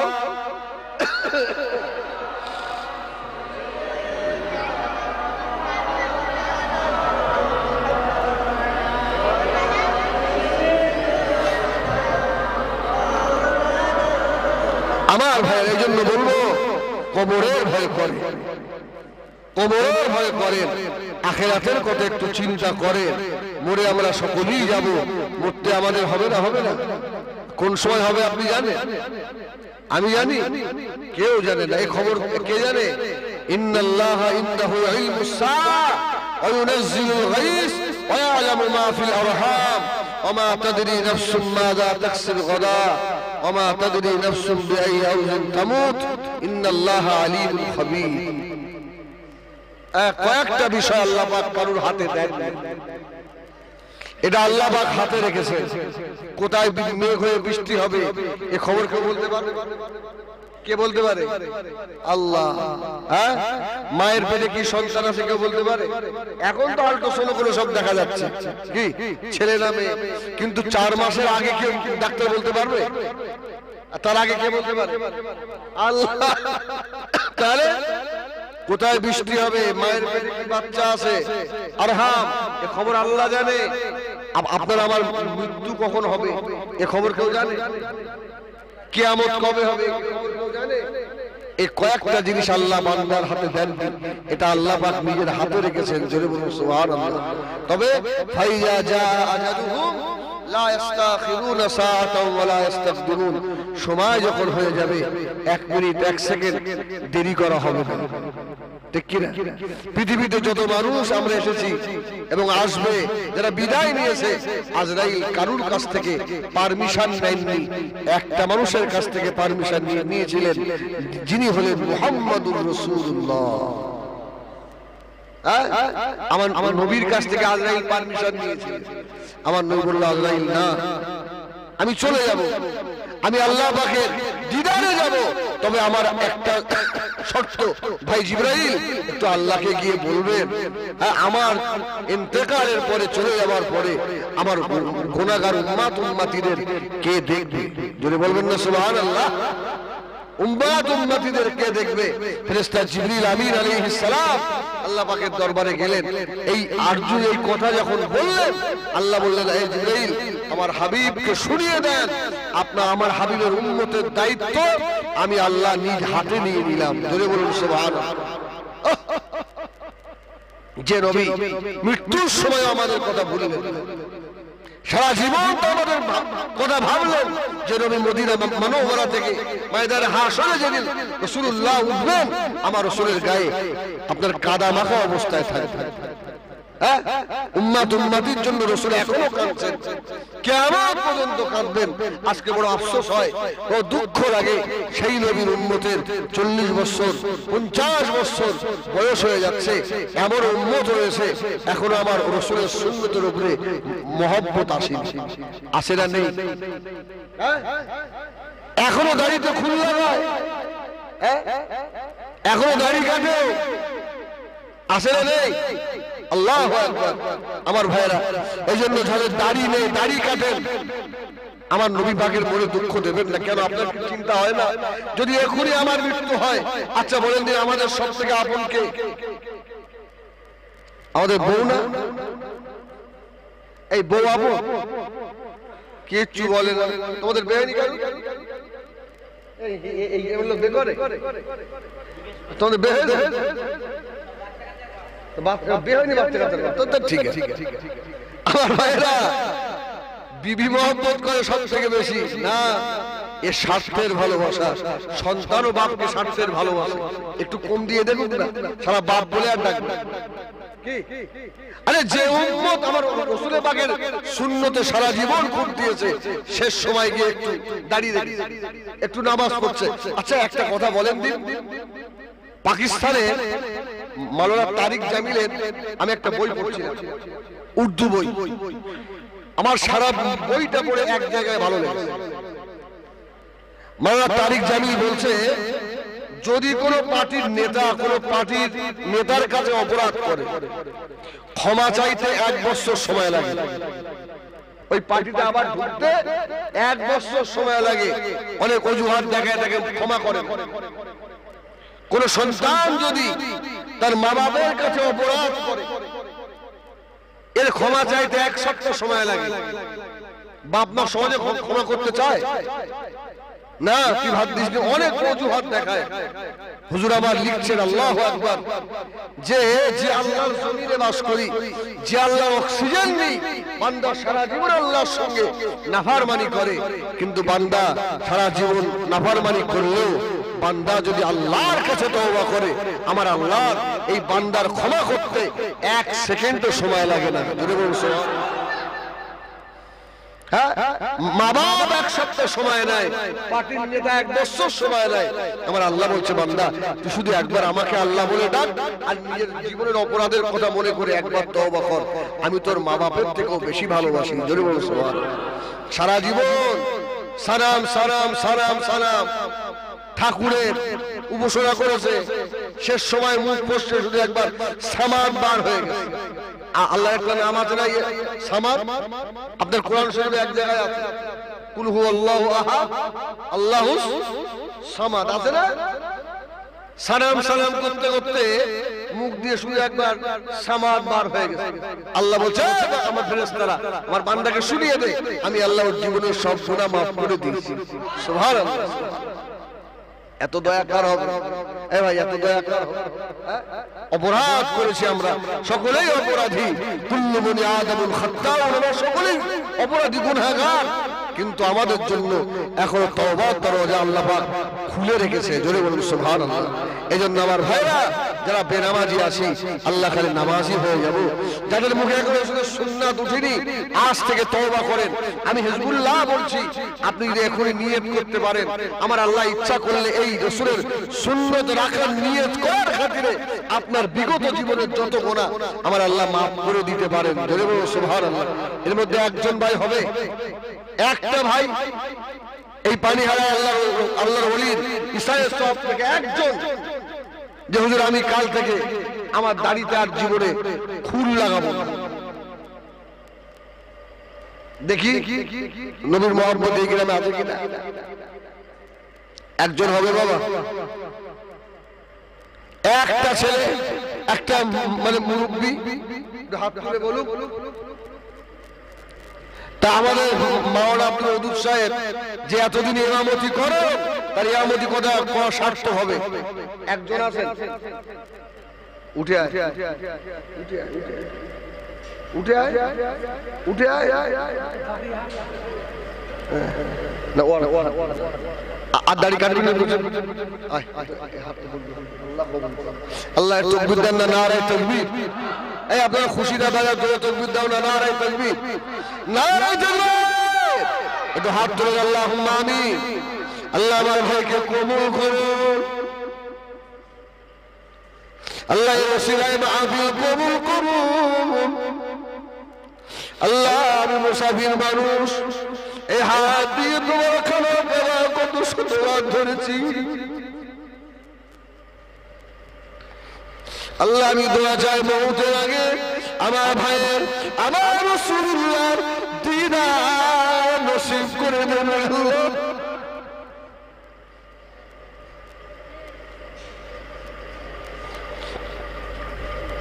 আল্লাহ। জীবনে দুবার দুমুটো খাওয়ার পরে পরে দোয়ারে হাত পাতাবেন না আল্লাহ হালাল রুজিতে বরকত দেবেন আল্লাহ এই ছেলের বংশে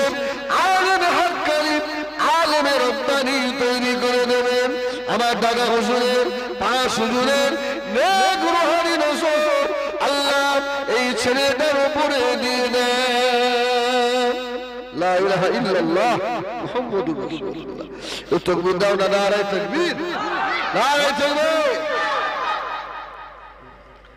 আর আর একটা দুটো ছেলে হবে না? আমার ভাই হ্যাঁ আজকে আল্লাহর হাট বসেছে। হ্যাঁ আপনি কাকে সৌন্দর্য দেখাচ্ছেন? আপনি কাকে দেখাচ্ছেন? আহ, একটা ছেলে দাড়িওয়ালা হয়েছে। যে ছেলে শুধু পড়ে না এরকম একটা ছেলে। হাত তুলে বলবে হুজুর আমি ইচ্ছাকৃত আর নামাজ আর কাজা করব না। আমি নামাজ আদায় করব। একটা ছেলে হাত তুলে তাহলে আজকে আমি এই গ্রাম থেকে কিছু টাকা নিয়ে যাব এটা আমার জন্য মনে হয় হালাল হবে। অস্ত আমি করতে পারি। হ্যাঁ? অন্তত আল্লাহ দরবারে আমি এদেরকে দেখাতে পারব। একটা ছেলে হবে না? একটা ভাই নেই যে নিয়ত করবে, আমি কাল থেকে ইচ্ছা কিন্তু জামার ছেড়ে দেবো না। একটা ভাই হবে না? নামাজের কথা বললে কষ্ট। দরুদ শরীফ আল্লাহুম্মা। নাম কি? নামটা কি বলবি তুই কে কই খেলা না হ্যাঁ আল্লাহ কবুল করেন আল্লাহ আমার ভাইয়ের রসুলের দিদার নসিব করেন। আল্লাহ অরুজি রোজগারে বরকত দেন। আল্লাহ ওই বংশে আলেমে হাত করে রব্বানি আল্লাহ তৈরি করে দেন। জয় আল্লাহ আমি আমার ভাই আর দেরি নয়।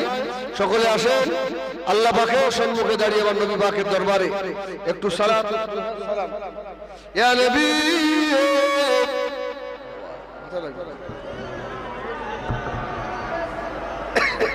খুব ভারী।